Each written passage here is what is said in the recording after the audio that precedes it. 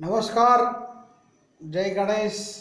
आप देख रहे हैं हमारा यूट्यूब का चैनल एस्ट्रोलॉजर नरेश आज का वीडियो है राशि चक्र की पांचवी राशि, अग्नि तत्व की राशि से ही राशि वाले जातकों के लिए मार्च 2021 का महीना कैसा रहेगा, इसके बारे में। तो आपको बता दें कि ये प्रडिक्शन चंद्र राशि आधारित है। यदि आपकी जन्म कुंडली में चंद्र पाँच नंबर के अंदर लिखा है तो आपकी राशि में आपकी राशि सिंह है और ये प्रिडिक्शन आपको असर करने वाला होगा। कोई भी साल के अंदर 15 अगस्त से लेकर 14 सितंबर के बीच में आपका जन्म हुआ है और जन्म के सूर्य भी आपके पाँच नंबर के अंदर लिखा है तो भी ये प्रिडिक्शन आपको असर करने वाला होगा। यानी कि सिंह राशि के अंदर है तो भी ये प्रिडिक्शन आपको असर करने वाला होगा। और यदि आपके सूर्य चंद्र दोनों सिंह राशि के अंदर है तो ये प्रिडिक्शन आपको बहुत ज़्यादा असर करेगा। तो सबसे पहले बात करेंगे आपके राशि के अधिपति ग्रह सूर्य ग्रह के ट्रांजिट से। सूर्य ग्रह आपकी राशि से सप्तम स्थान के अंदर चल रहे हैं दाम्पत्य जीवन के स्थान के अंदर चल रहे हैं पार्टनरशिप के स्थान के अंदर चल रहे हैं। तो सूर्य का फल थोड़ा सा उग्र तो है ही है, क्योंकि आपकी राशि से सप्तम स्थान के अंदर सूर्य आपकी राशि भी अग्नि तत्व की मालिक है, और राशि के सामने सूर्य होने के कारण टेम्परनेस आपका बढ़ेगा। और इसका इफ़ेक्ट आपके पार्टनर के ऊपर होगा। तो रिलेशनशिप में आपको अपने पार्टनर के साथ जो भी जातक विवाहित हैं मैरिड हैं, उनको भी अपने पार्टनर के साथ दाम्पत्य जीवन में विशेष केयर करना होगा। सूर्य का यहाँ पर जो भ्रमण है, वो 14 मार्च तक होगा। शाम को छः बजकर पाँच मिनट को 14 तारीख को सूर्य राशि परिवर्तन करके चलेंगे मीन राशि के अंदर। इसको बोलेंगे मीन संक्रांति। तो मीन संक्रांति जो है, वो शाम को छः बजकर चार मिनट से लेकर सूर्य अस्त तक होगी, क्योंकि सूर्य शाम को राशि परिवर्तन कर रहे हैं। और आठवें स्थान में जाने वाले सूर्य आपके लिए शुभ नहीं होंगे। तो पारिवारिक मामलों में केयर कर, आने वाले एक महीने के लिए चौदह मार्च के बाद पारिवारिक मामलों में केयर करना होगा फाइनेंशियल मैटर में केयर करना होगा, खुद का हेल्थ केयर करना होगा, और आपके फैमिली मेंबर्स जो हैं, इनका भी हेल्थ केयर करना होगा। तो 14 मार्च के बाद जो पीरियड है उसमें गवर्नमेंट रिलेटेड मैटर में भी केयर करना होगा। तो सूर्य का फल आपके लिए शुभ नहीं है तो 14 तारीख की शाम को जब सूर्य राशि परिवर्तन करेंगे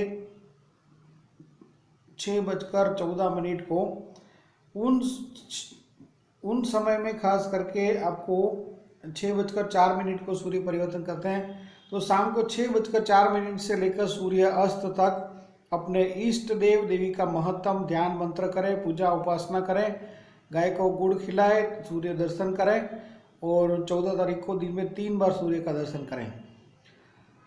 तो बदलने वाली सूर्य ट्रांजिट आपके लिए 14 मार्च से लेकर 14 अप्रैल तक का जो पीरियड है, वो थोड़ा सा स्ट्रेसफुल रहेगा। हेल्थ वेल्थ सबको लेकर आपको केयरफुल रहना होगा। उसके बाद बात करेंगे मंगल ग्रह के बारे में। तो मंगल ग्रह का ट्रांजिट जो है वो राहु के साथ है, दसवें स्थान में मंगल और राहु आपके लिए विजय लक्ष्मी योग कर रहे हैं। हालाँकि प्रॉपर्टी रिगार्डिंग मैटर के अंदर कुछ डिस्टर्बेंस आने की संभावना रहेगी क्योंकि चौथे स्थान में केतु का फल भी शुभ नहीं है, मंगल की दृष्टि भी शुभ नहीं है। यहाँ पर गुरु की दृष्टि दसवें स्थान में होगी, जिसके कारण आपके कैरियर के अंदर तो ये प्रोग्रेस करवाने वाला रहेंगे। बिज़नेस में कैरियर में और ख़ास करके जो कोई भी जाता medical paramedical land estate property इत्यादि व्यवसाय से कनेक्टेड हैं, उनके बिज़नेस के अंदर, कारोबार में उनको तेज़ी देखने को मिलेगी। मेडिकल प्रोफेशन में है ये जातकों के लिए भी ठीक है।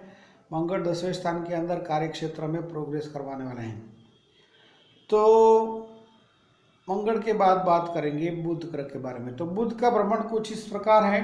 बुध 11 मार्च तक मकर राशि के अंदर है, राशि से छठवें स्थान के अंदर है और उसके बाद चलेंगे सप्तम स्थान के अंदर। तो दाम्पत्य जीवन में बुध का फल शुभ नहीं होगा।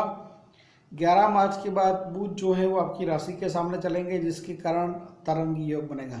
माइंड का वाइब्रेशन बढ़ने की संभावना रहेगी और ऐसी परिस्थिति में आपको लाइफ का कोई भी इम्पोर्टेंट डिसीज़न लेने का आता है तो जल्दबाजी में नहीं लेना चाहिए। गुरु आपकी राशि से छठवें स्थान के अंदर है, जो कि आपको रोग शत्रु पर विजय देने वाले होंगे। बिज़नेस में कैरियर में प्रोग्रेस करवाने वाले हैं। आपका कर्जा मुक्ति करने वाले हैं, ऋण मुक्ति करने वाले हैं और आपके इनकम में भी वृद्धि करने वाले हैं। तो लव मैटर के कारक ग्रह शुक्र ग्रह की ट्रांजिट क्या कहती है आपके लिए, वो भी जान लेते हैं। तो शुक्र का जो फल है, वो आपके लिए क्या होगा? शुक्र 16 मार्च तक कुंभ राशि के अंदर है, यानी कि सप्तम स्थान के अंदर है, दाम्पत्य जीवन के स्थान के अंदर है। और 16 मार्च के बाद शुक्र चलेंगे अष्टम स्थान के अंदर। तो ये शुक्र का ट्रांजिट आपके लिए लव मैटर में सक्सेस देने वाला होगा, इनकम में वृद्धि करने वाला होगा। हालाँकि शुक्र और सूर्य जो है, वो दोनों शनि की दृष्टि में होंगे, बदलने के बाद तो सूर्य यहाँ पर पीड़ित हो जाते हैं। तो खास करके आपके जो इन लॉस हैं, इनको कोई हेल्थ का प्रॉब्लम आ सकता है। या तो गवर्नमेंट रिलेटेड मैटर में आपको कोई प्रॉब्लम आ सकती है, या तो आपके खुद के हेल्थ को भी कुछ प्रॉब्लम हो सकता है। तो हेल्थ वाइज आपको ज़्यादा केयर करना होगा। जब तक सूर्य अष्टम स्थान में है, चौदह मार्च से लेकर चौदह अप्रैल तक का पीरियड आपको हेल्थ वाइज ज़्यादा केयर करना होगा। क्योंकि सूर्य जो है वो गोचर ट्रांजिट में शनि से पीड़ित होंगे। और शुक्र अष्टम स्थान में आपको शुभ फल देने वाले होंगे इनकम में वृद्धि करने वाले होंगे। और शनि ग्रह का जो भ्रमण है, वो छठवें स्थान से दृष्टि करते हैं। अष्टम भाव में वो शुभ नहीं होंगे। और सूर्य शनि का अशुभ योग बनता है चौदह मार्च से चौदह अप्रैल। तो इन समय के अंदर आपको इन लॉस के साथ रिलेशनशिप में भी ज़्यादा केयर करना होगा। बारहवें स्थान में शनि की दृष्टि होने के कारण सेविंग कम होगा, खर्च ज़्यादा रहेगा। हालाँकि गुरु साथ में है, इसलिए आपको, आपका बचाव हो रहा है। और, शनि की जो दसवीं दृष्टि है, वो आपके तीसरे स्थान के अंदर होगी, जिसके कारण आपको अपने भाई बहन एवं नेबर्स के साथ भी रिलेशनशिप में केयर करना होगा। राहु आपकी राशि से दसवें स्थान के अंदर है। जो बिज़नेस में करियर में आपको अपग्रेड करने वाले हैं, केतु आपकी राशि से चौथे स्थान के अंदर है तो प्रॉपर्टी रिगार्डिंग कोई भी कार्य करने का आता है तो आपको जल्दबाजी में नहीं करना है। और ख़ास करके कौन कौन से डेट्स आपको ज़्यादा टेक केयर करना होगा, इस मंथ के अंदर वो इस प्रकार हैं।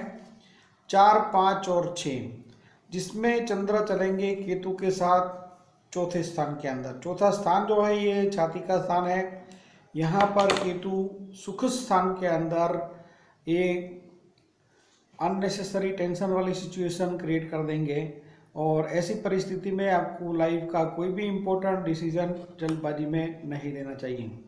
जो डेट रहेगा